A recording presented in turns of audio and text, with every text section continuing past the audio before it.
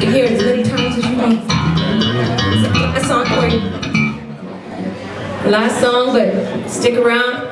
Check out Carolyn Wonderland. They're wonderful. Yeah. But uh, where's the rim? Can't you all